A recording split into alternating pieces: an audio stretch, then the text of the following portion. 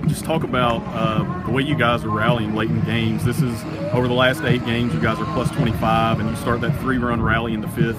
Uh, what is it about you guys that allows you to do that? I think we are just have a lot of fight in us. We've always been like a blue collar program. We've always had a lot of grit, had a lot of hard work in us. So I think it's just finally starting to show you had that two RBI single there uh, to give you guys the lead. Uh, what was that like coming up with two outs at the plate in that big moment? I was seeing the ball today, so I wanted to be the person up. I wanted to be the person to give my team what we needed to take the lead right there because I knew we could do it. We were so close last night. We were, we were just as good as them, so I was so glad that we could prove that.